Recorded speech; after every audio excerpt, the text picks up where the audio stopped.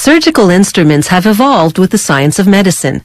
They actually date back thousands of years, when primitive man used crude implements to cut holes in skulls to release evil spirits. Medical science has come a long way since then, and today's surgical tools are among its advancements. In the hands of a skilled surgeon, the right tool can be a lifesaver. There are now hundreds to choose from, each designed for a specific task or operation.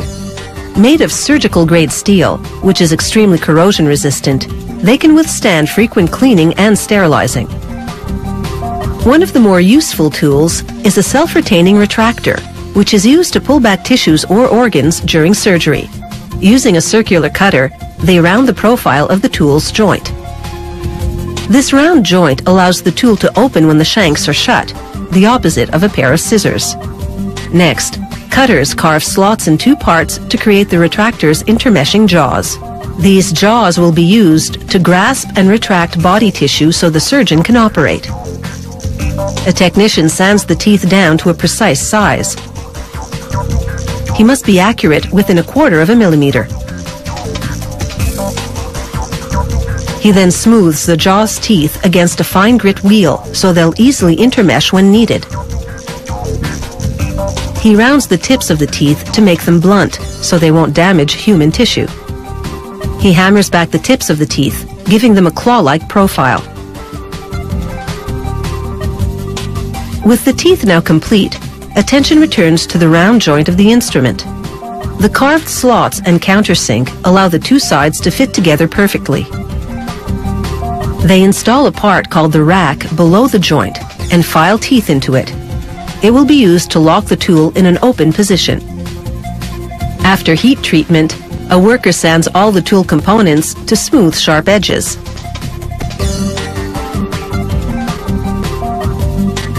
Vibrating porcelain chips and polishing compound scrub them clean and remove burrs caused by machining. Next, they install the pivot screw and trigger for the rack. By pressing it, the surgeon can open the prongs to the desired width and lock the tool in position. Production now moves to the surgical clamp. It's used to block the flow of blood during operations and has a more scissors-like joint, rectangular instead of round. Mechanized cutters carve the joint and catches.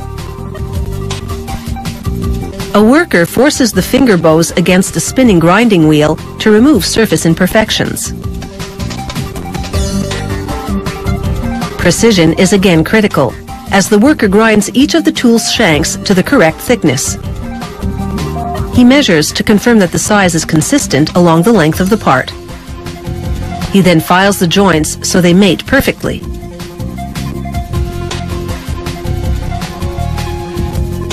He places the joint part of one of the shanks over hot coals to soften the metal and make it malleable. Then he forces a spike through a slit in the joint and the now compliant steel stretches to open the slit. The other shank now slides easily into the opening. He hammers the joint to close the opening, and the two arms of the surgical clamp are now hinged together. Next, he files the teeth of the clamp so they'll interlock when the tool is closed.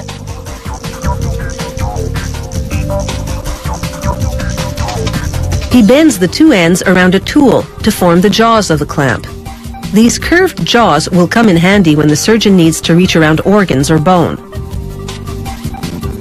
Next, using a variety of tools, he adjusts the shanks and the finger bows to give them a more ergonomic feel this is called soft setting because at this point the metal is still soft enough to be manipulated. He tweaks the bend of the jaws until he's satisfied with the curvature. He smooths the inside of the finger bows with a fine abrasive belt. After heat treatment to strengthen the metal, they blast it with fine glass particles to give it a satin finish. They laser etch the company name and identifying numbers onto the surgical clamp. The numbers will allow the tool to be traced back to a particular production run. And now it's ready to take its place on the front lines of healthcare.